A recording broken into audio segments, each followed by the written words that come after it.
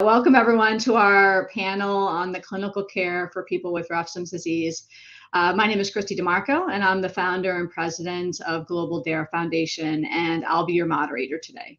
I'm honored to be here with both Dr. Florian Eichler and Dr. Radha Ramachandran. Uh, they're here to meet uh, uh, to talk about um, the clinical care of people with Refsum's disease. And I'll, in a moment, I'll have them both introduce themselves. Before we get started, though, um, I wanted to share a little bit about Global, Fair, uh, Global DARE Foundation and provide a few uh, housekeeping details. So, Global DARE Foundation was established in October of 2019. Uh, DARE stands for Defeat Adult Refsum Everywhere. And our mission is to promote worldwide awareness and better quality of life for all who are diagnosed with adult Refsum disease. You know, our goal is to support research, education initiatives, awareness campaigns like the one we're doing today, um, advocacy, uh, you know, driving research is at the center of what we do because we do dare to believe that there's a cure for adult Refsum's disease. You know, and Dr. Eichler and Dr. Radha Ramachandran, um, you know, are supporting Global DARE Foundation, Foundation's mission, you know, by being valuable members of our medical and scientific advisory board. You know, with our medical and scientific advisory board, we are raising awareness for Refsum, you know, driving better treatment and care, and reinvigorating the research into better therapies for Refsum's disease. Okay, now on to just a few housekeeping details. Obviously, everyone's in listen only mode, uh, but this panel will be open for your questions. You know, to ask questions, you would just go to the right hand panel um, on the side of your screen. You'd click the stage tab and then click Q&A, and you can type your question down below. Uh, and today's session will be recorded for later viewing on the Global DARE Foundation website and our YouTube channel. Um, all right, so now let's get started. Uh, so I'd like to start um, by having both um, Dr. Eichler and Dr. Ramchandran to do a brief introduction of themselves, give a little bit of background, you know, and how did they become, you know, engaged in rare diseases, you know, like Refsum's disease. So maybe uh, Dr. Ramchandran, do you want to get us started?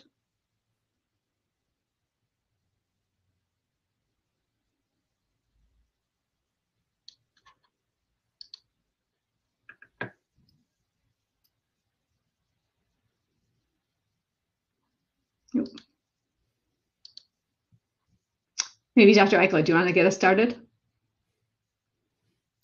Sure. Can you hear me okay, Christy? Yeah, I can hear you just fine. Um, so my name is Florian Eichler. I'm a neurologist at Massachusetts General Hospital in Boston, and I direct the leukodystrophy service there. Um, I originally got involved in neurogenetic diseases uh, during a fellowship at Johns Hopkins, where I was fortunate to have the mentorship of Dr. Hugo Moser, um, who introduced me to the field of leukodystrophies and uh, inherited disorders. The thing that Hugo taught me is that it really takes a village of people to make progress. And uh, he, more than anyone, embodied the clinician scientist who put the patient and the patient plight front and center. Uh, he was always talking about what it meant to walk in the patient's uh, footsteps and feel their uh, suffering and their plight and their perspective. So I think um, that was a huge impetus for me to go into the field and make progress after uh, learning a lot of the biochemistry from uh, Dr. Moser and completing residency in neurology at Mass General, I um, then focused on gene therapy uh, for the leukodystrophies and making progress in the field of ex vivo, uh, lentiviral gene therapy that um, was uh, just uh, favorably voted upon last week, um, but have started uh, gene therapy trials in a number of different disorders. And I'm absolutely delighted to be part of uh, DARE and uh, Boston Center of Excellence for Adult Refsum Disease.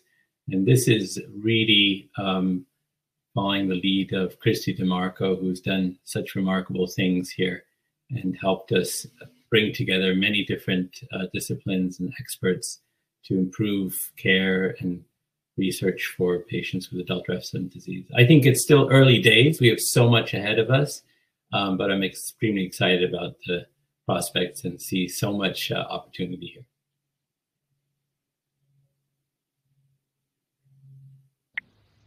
All right, uh, Dr. Ramachandran, do you want to go next? Together, many different uh, disciplines and experts. Oh, I think, Rod, you need to, need to close patients with tab. disease. I think it's still early days.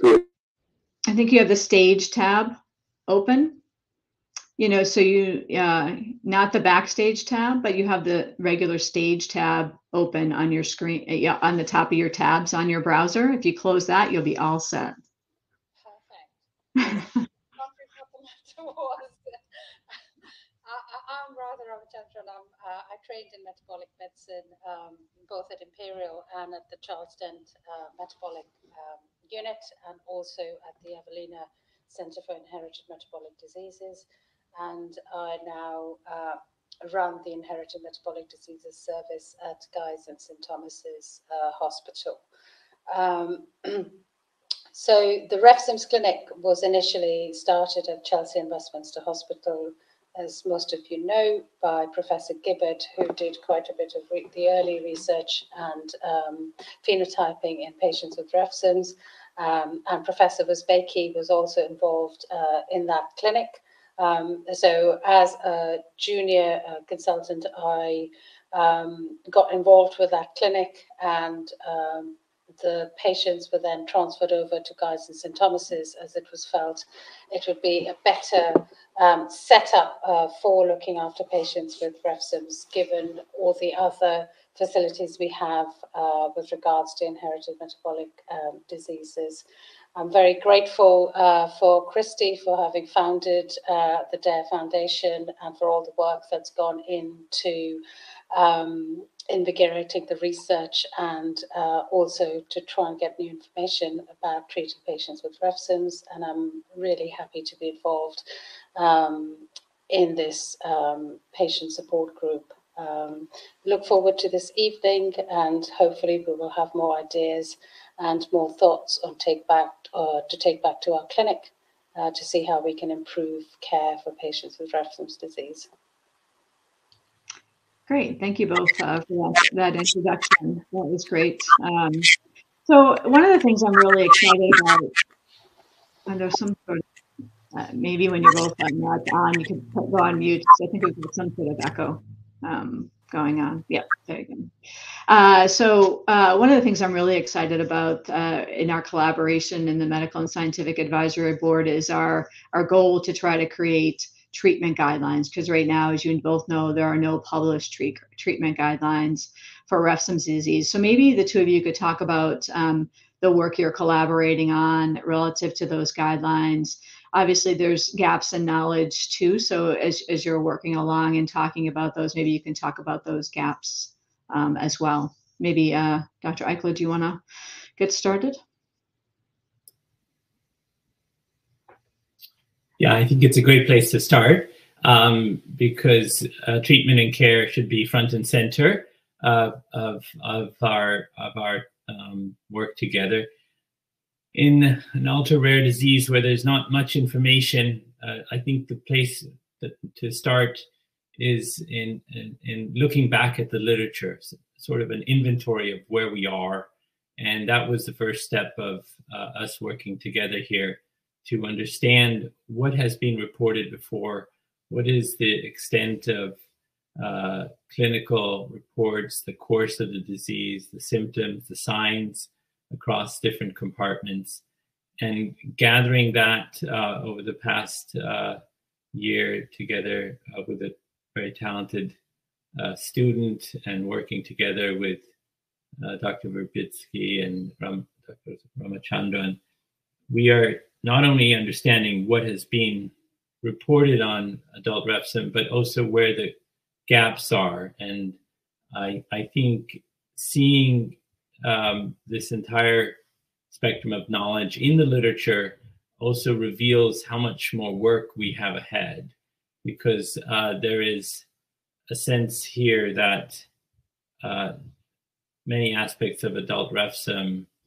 and um, what patients are experiencing are still not being reported in the literature and need to be done more comprehensively, more rigorously, and also uh, in a more updated way. So, is it still true what was reported 10, 20, 40 years ago today, as we know that medical standards have changed, um, our understanding of medical practice has improved.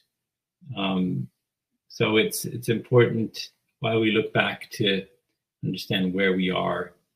And I'll let uh, Dr. Ramachandran speak to uh, her work with on, on surveys and and of course the incredible practice that she has in London. Radha, it looks almost like like you have. Uh, yeah, I, have got some, some sunshine. I'm sorry. The shutters down. Just one moment.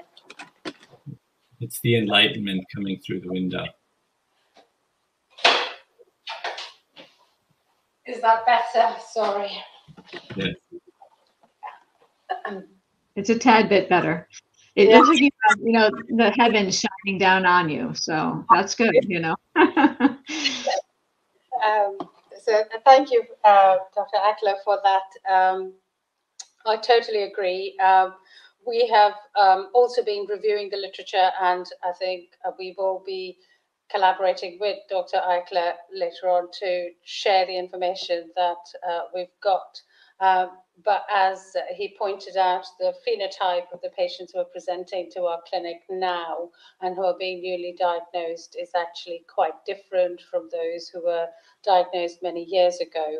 And uh, the best way to learn is from our patients and following them up going forward and looking at the changing phenotype and looking at the changing natural history of this disease will teach us a lot in terms of what early treatments can do in terms of preventing um, complications and also what difference diagnosing patients earlier will make in terms of how they present to us. So, for instance, years ago, most of the patients who presented to our clinic with Refsum's disease would have presented as a result of an acute decompensation and symptoms as a result of that. Uh, and therefore, their symptoms and their the, the problems they present with are quite different to our newer patients who are presenting because they've been genetically diagnosed. And that would be very interesting for us to see when patients are in, put on treatment at the time of genetic diagnosis, what happens in terms of the symptoms that develop. Great. Uh, so I, I, appreciate all the, the great work that's being done to to assemble, you know, these treatment guidelines. I think it'll make a big difference uh, for patients. I know when I was first first diagnosed, you know you would often think that people would know exact once you get a diagnosis people would know exactly what to do with do for you uh, but that's not really the case with rare diseases and it's it's so great to have a team that you know has experience in this disease wanting to help put together you know might not all be evidence based treatment guidelines. We might have to work towards those evidence based treatment guidelines but collecting that natural history you know really learning from patients uh, what's working well what isn't working well and then hopefully advancing more research you know that helps us to create those evidence-based treatment guidelines will be will be important. Um, so one of the one of the other questions uh, that I have, and I would recommend any anyone in the audience that has questions, uh, you know, to feel free to submit them at any point in the chat. I'll continue to to work through my list of questions, but I'd, I'd be happy to hear from the audience as well. Um, what would uh, you know, as you see and talk with patients on a regular basis, what what do you um, hear is the biggest complaint um, that you hear from people with Refsum's disease, and and how do you work through that? Dr. Ramchandra, do you want to go first this time? Sure. Um, so when you say complaints, uh, uh, I assume you mean what are the most sort of common problems that the patients present with. Um, so from our experience, I think the one problem that patients most often uh, sort of put on top of their list is their visual um, uh, function and and actually ways in which we can improve that or delay um, deterioration in vision. That is probably the biggest and the most often uh, sort of um, described problem in our patient group. Is that, am I answering your question correctly? Is that what you were after? Yeah, I think ultimately um, understanding what are the, the dilemmas that patients are having to work through, you know, and are, you know, are, are there avenues? Obviously, on a vision loss perspective, there's not much we can do other than to try to minimize our, our phytanic acid levels going up. Um, but, you know, are there other things that, um, you know, patients are presenting with as well that are, are, are of challenge um, that potentially have you know you found any resolution or um, are able to to um, you know prescribe an, an avenue that provides relief I suppose the other other uh, biggest uh, challenge for patients with Refsum's, as you know, is a rare disease. And in terms of diagnosis, so many patients would have sort of suffered with their symptoms for many years before the diagnosis has been made. I think we have seen a visible uh, impact of DARE Foundation on on that because we have had a number of patients who have contacted us directly as a result of the work that DARE has done in terms of publicizing the uh, the, the, the DARE Foundation and also actually increasing awareness of the condition. Um, and I think that that is a really important uh, part in the patient's journey in terms of being able to di- be diagnosed earlier would be um, one, and the other one is easier access to um, blood tests and more, uh, you know, so that people are able to do it in a way that uh, involves as less uh, travel and makes it logistically easier to get blood tests done to monitor phytanic acid levels. Yeah, it seems, it seems as though phytanic acid tests are a challenge uh, you know, in different countries present different challenges. I know in the U.S., I think even having the the, the physician understand what test to order, you know, is is a problem. Uh, and then once they determine what test it's order, it actually doesn't take like any lab can actually take the blood sample and ship it to the appropriate lab. Uh, but it sounds like that's not always the case um, from a uh, in, in the UK, as an example, I know many patients um, don't want to come into London you know, to get their level done. So they'd like something similar to what I have. My my level gets done here in Maine. It gets shipped out to the Mayo Clinic or to Kennedy Krieger. It gets done there, and then they ship the results back. Um, so obviously, in different countries, it's a different approach. So hopefully, we can kind of tackle some of that as well. Any thoughts on your end, uh, Dr. Eichler?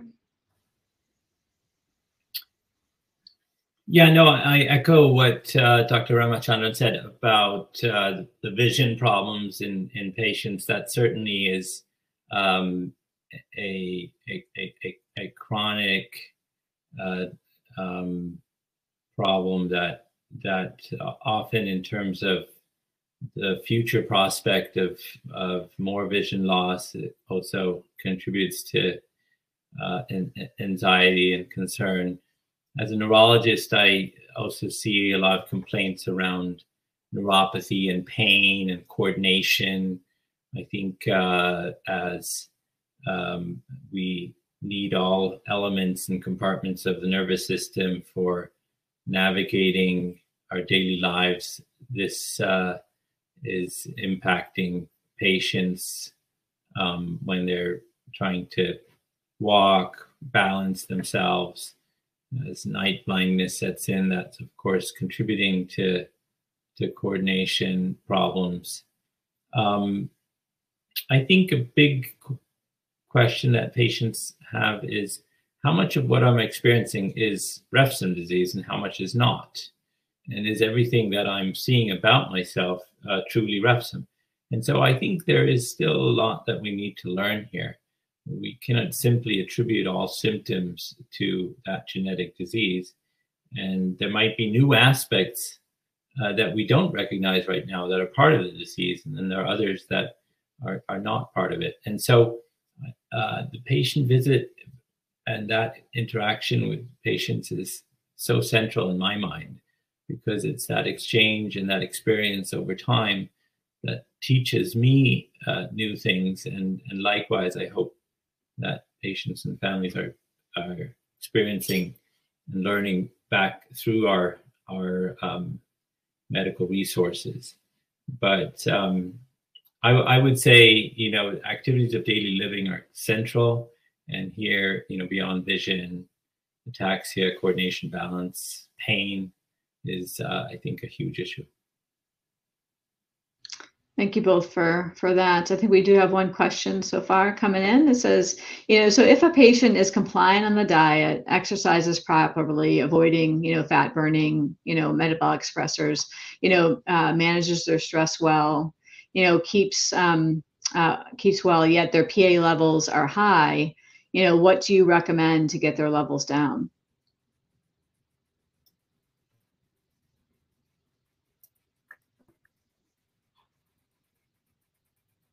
You want to go first, uh, Dr. Ramachandran? Oh, it looks like we lost Dr. Eichler.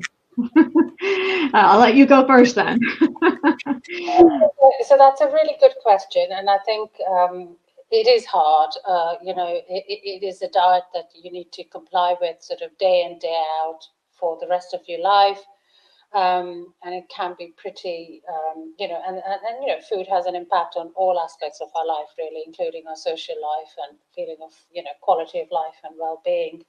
Um, it's a difficult question. Um, it really depends on what the levels are um, and what uh, what the patient's symptoms are. So, for instance, in our service, if somebody was having high levels despite doing everything, then I think the first thing we do is to have a closer scrutiny of the diet in terms of, you know, as you know, um, it's not an exact science. Some of them are very high in phytanic acid. Some foodstuffs are not that high, but, uh, you know, there probably needs to be a limitation in terms of how much is consumed. And so it's a much more detailed scrutiny on the diet to see whether there is anything we can do to change um, um, the diet and whether that might have an impact. Um, we wouldn't automatically um, do uh, plasmapheresis unless, of course, there are acute uh, symptoms um, involved. Um, we might uh, see whether patients are having enough calories because that can have an impact on phytanic acid levels in terms of whether they are hypocaloric. Uh, And we might also see if there's an intercurrent illness. So, for example, you know, things like overactive thyroid sometimes can cause uh, people to be more catabolic, and that can push phytanic acid levels up. Um, so, it would be a, a much more detailed dietetic and um, clinical uh, review to see if there are any factors that are um, affecting the phytanic acid levels and trying to control those. Anything to add, Dr. Eichler? Yeah, sorry, I cut out briefly, um, but I, I, I think I heard most of what Dr. Ramachandran said. The, the, the only thing maybe to add is um, um, that understanding what's happening over time is key so I think the holistic approach that Dr. Ramachandran mentioned is the way to look at it, understanding the levels in the context of the patient experience and signs and symptoms. I think one uh, has to be careful not to uh, simply um, look at just one aspect uh, or one lab alone, but put it into the context of, of the entire body so is that lab value trending up or trending down? Are the symptoms getting better, getting worse? What is the association between uh, the phytanic acid levels and uh, the well-being of the patient? And accordingly, you can uh, get an understanding of what degree of intervention is needed. Is this something that uh, you know more dietary restrictions can help with, or is this rising into a dangerous level where uh, there are also symptoms associated that would warrant being more aggressive and doing something like plasmapheresis. Thank you. Uh, speaking of plasmapheresis, uh, you know, can you can you talk about um, that a little bit, and you know when you would consider using uh, plasmapheresis uh, as as part of a treatment for a person with Refsum's disease? Do you want to start, Dr. Ramchandran? Sure. Um, again, a very good question, and I don't think we really know the answers um, for sure um, because the evidence is is limited. Um, so I can only base it um, on um, our practice and also on the limited evidence that there appears to be in the literature. So in our practice, we would use plasmapheresis mainly if the levels were over a thousand, uh, and if patients were presenting with acute symptoms, acute neurological symptoms, and were acutely unwell. Um, we wouldn't routinely use phytanic acid, uh, plasmapheresis to bring phytanic acid levels down um, if both those um, aspects weren't there. Um, there are some places where they do use plasmapheresis more regularly. I think the difficulty is in terms of understanding what the outcomes are that we're looking to achieve by doing these regular plasmapheresis. And plasmapheresis doesn't come without risks. There are risks involved with plasmapheresis, um, including impact on quality of life. Um, and, and so that's, that's what our practice has been so far. Um, I don't know, what do you think, Dr. Eichler? Yes, I, I agree. I think, um, as you said, one has to put it into the larger context of what the patient is experiencing and what is happening over time. So, you know, it's a very different scenario It's the levels are trending up over time and, and moving into sort of that dangerous range where we would say, you know, 1,000 and above. And if there are associated symptoms that are occurring, is this an acute decompensation? Is this a situation where uh, somebody is uh, has a different altered state of alertness, is is uh, less responsive than before. Are there more GI symptoms or other symptoms associated? So I think looking at this holistically again is important rather than saying there's a cutoff that, that you should uh, achieve before you would consider this. So I think this is not different than how we think about clinical practice in general. And we would certainly look at a diabetes patient in a similar way that we look at their glucose level or the HbA1c in a similar uh, um, contextual way. And so the other thing I guess I would also note is as you're performing a plasmapheresis, you know, you're changing levels of phytanic acid, probably in blood compartment. Who knows what's happening in other compartments of the nervous system or the eye, where you actually want to see lower um, acid levels occur. And so I, I am a little hesitant to say, you know, there's one answer for one level in, in, in, in the phytanic acid level of blood. And uh, one has to really have a thoughtful conversation with your healthcare provider uh, to understand risk and benefit and possible um, outcomes uh, that that uh, this ensues. Great, thank you both for your uh, thoughts on that. Uh, all comes down to looking at the patient as the individual, right, and, and assessing that individual person's needs because we there are also people who have other other conditions outside of Refsum's as well that could contribute or need to be considered um, as as you consider the different treatment options, including plasmapheresis. Uh, so great. Um, another question came in. You know, is there a test that can measure how much phytanic acid we can metabolize? You know, we know that um, omega oxidation is the pathway that we can use to um, oxidize phytanic acid. But is there any test to allow us to know how much can actually go through that pathway?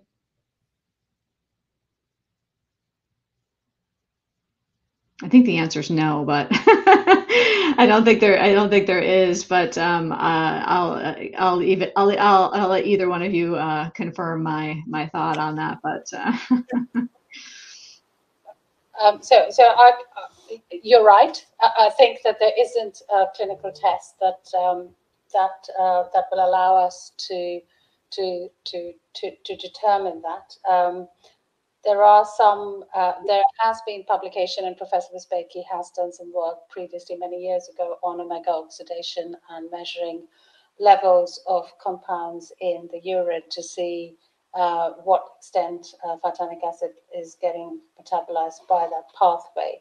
But there isn't a validated clinical assay that's available that we can reliably use. Um, and the other thing to say is um, a lot of the time when mutations happen, genetic uh, um, uh, conditions, and we know from other genetic conditions that it's not like an on-off on-off switch. Um, so sometimes the enzymes can be completely switched on or off, and sometimes there might be, uh, you know, residual function. And it's possible that that's true in refsums too, uh, but we don't have any reliable ways of measuring that, um, and we mostly have to rely on patients' presentations really to to understand whether somebody's phenotype is more severe or less severe.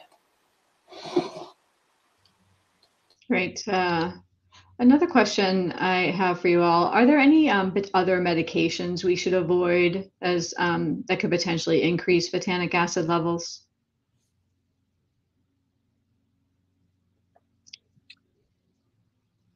Uh, not that we know of, and I'm I'm glad to have Dr. Ramachandran also weigh in um, you know, obviously we we know of certain foods and uh, meat and fish that uh, can increase your phytanic acid levels. You know, if there's ever any question around certain supplements that are, um, you know, utilizing fish oil or or meat uh, ingredients or gelatin that you want to uh, avoid those. But even there, I think the contribution is pretty marginal. Um, but I think uh, just with this knowledge of sensitivity to any compounds uh, or dietary aspects that increase phytanic acid, it's prudent to look at supplements um, um, more carefully and, and their composition. But in terms of medications, uh, there's nothing that we know of um, that is uh, contraindicated in, in refsum at large. I would say if you yourself experience uh, certain reactions to medications, it's always good to discuss that with your physician. Um, you want to understand whether that's just your individual uh, reaction or whether it has any relationship to refsum. I think that's always uh, the first thing to do is not automatically attribute everything to um, refsum, but uh, carefully understand the relationship uh, between this specific gene defect and how you feel and function.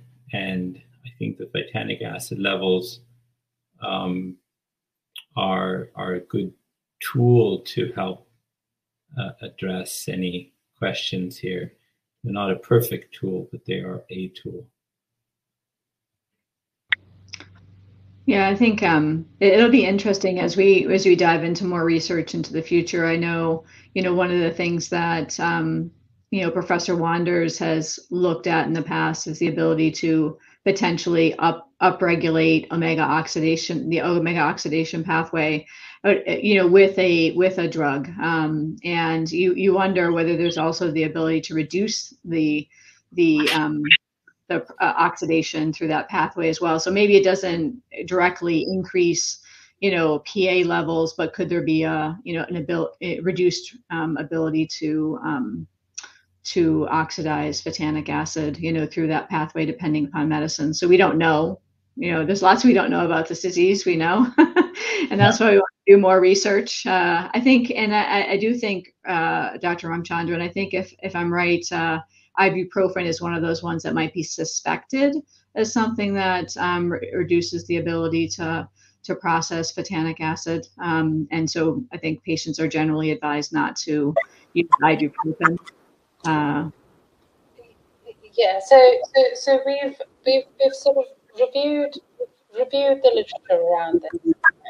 We've looked at it, um, we've um, discussions um, about it um, as well. So ibuprofen gets metabolized via path uh, through that same pathway as phytanic acid, but much lower down the metabolic pathway.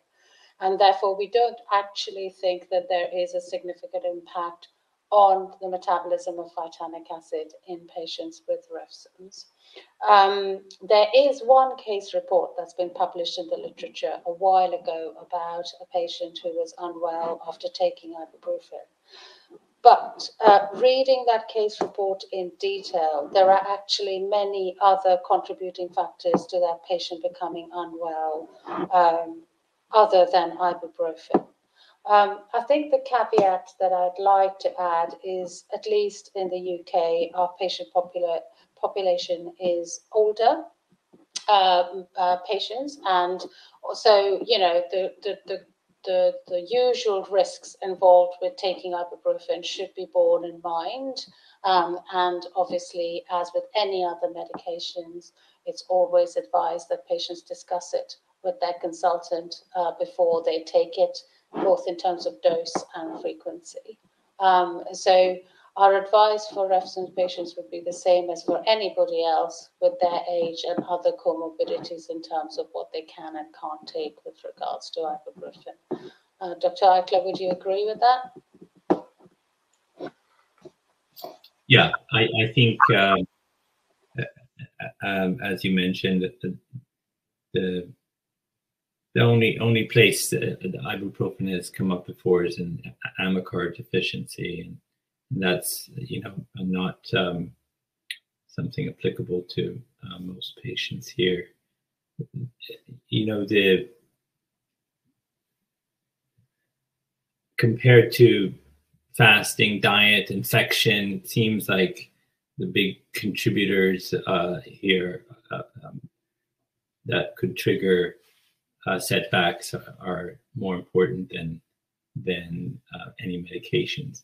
But if you're on multiple different medications and there is a situation of polypharmacy, I think you know patients with adult refsum are vulnerable, and you should probably be discussing that carefully with uh, your providers. There are other lipid disorders that affect the nervous system, such as uh, late onset Tay Sachs and Sandhoff disease, where we do know that there are uh, there is a sensitivity to certain antipsychotics and medications that should be avoided. I don't know of that in adult refsum disease, but I think there is precedent, Christy, to a situation where we might in the future learn something like that. Yeah, it's probably more even, you know, points to the need for those natural histories, you know, of patients and understanding how you know, you know, just what they're taking for medications, how their symptoms ebb and flow, where, where their PA levels go, you know, being able to actually look at all of that data and really understand, you know, what what are the potentials, right? Um, we'd learn a lot from just collecting natural histories of the, the patients that we do have, right? Without even doing any mouse model studies, you know, just just collecting that data alone. And that's why we obviously started our patient registry, and hopefully we'll we'll be looking to start um, some additional studies that will will help us gain some of that that insight. So definitely a place where the patients can play a strong role in in in giving us really valuable information to to drive better care, right, and be able to improve our quality of life. So um, so we need those patients to uh, to help us get there. So, uh, so one more question uh, for you, and then I think we're we're, we're at time. Um, is uh, there was a question around uh, you know around the typical type of tests that uh, a person with Refsum's disease uh, should take? And you know, based upon your prior comments, I think it, you know probably probably the answer is individual. Um, but may, maybe maybe the thought would be when someone is first diagnosed, if we maybe flavor it from that perspective, when someone is first diagnosed, you know, is there is there some standard around um, what what should be evaluated up front to kind of understand what are some the, some of the potential concerns or or things that should be tracked on a regular basis. Um, I'll I'll stop there and see. Dr. Eichler, do you want to do you want to go first? Uh, sure. So the obvious test is uh, both the uh, you know phytanic acid and level and the uh, genetic test, and let's assume that you know you're now have evidence that you have adult Refsum disease. So what are the next tests that should be uh, conducted? Um, and uh, um, I would say you, you know you should check your phytanic acid level at least once a year, probably more frequently if your levels are high or your levels are trending uh, uh, upward, um, and that might vary it by where you live and, and how close to a center you are. Um, and uh, but we will always get a baseline MRI. We'll look at nerve conduction studies to assess your peripheral nerve. Um, we will perform audiology, um, do um, uh, lab work to assess organ function, uh, liver and kidney. So I think uh, those are the baseline tests you should get done once you have um, evidence of adult Refsum disease. And then, based on your own symptoms and the findings on these different tests, uh, you will have follow up. And that dictates, you know, the frequency with which you should uh, be seen and the frequency with which these tests should be repeated. As you said, Christy, not one size fits all. I think it's important to understand that best care is individualized care. It's uh, it, it would be great if we were all alike, but in some ways it would be also terrifying. So um, I think it is good to know that um, we are different, and accordingly we need to um, have have a visit with our physician to uh, understand where the priorities are and what are the things that need to be highlighted. But we do understand uh, from this genetic diagnosis that there are certain parts of our body that are at risk. Um, and I, I, may not have uh, mentioned the beginning, but it's it was so obvious to me that that vision is also front and center here. So having that um, regular eye exam is, is, is critical. Dr. Ramachandran? totally agree. Um, that, uh, you know, with, with the baseline test, that's exactly what we would do as well. The only uh, comment uh, to add is that um, sometimes patients come into clinic and somebody else is doing the weights and then it's not been done and then we don't have them done. So it's one of those things to just make sure that a weight is done so that we're tracking the weights and because we know that that's the biggest risk in terms of sort of changing levels in phytanic acids. Great point. Yeah, no, it's sometimes it's the obvious things that are so important.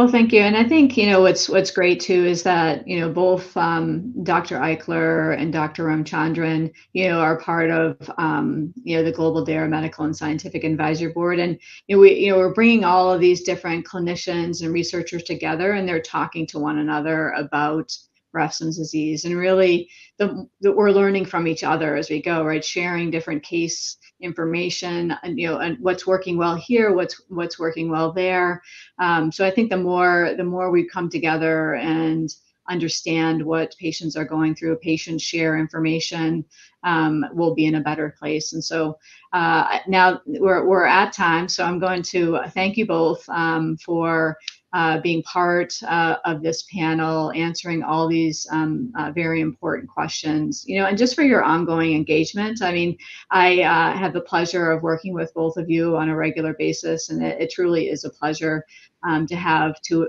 you know, two foremost experts, you know, um, you know, working with us on a regular basis. And I, I know together we can can definitely make a, a difference, um, an impact on patient lives. So I appreciate that and I appreciate the one and, the folks that attended on the on the call today and uh, for your great questions. And so that that ends uh, today's panel, and uh, I hope everyone's joining us on our, our next panel about the patient experience.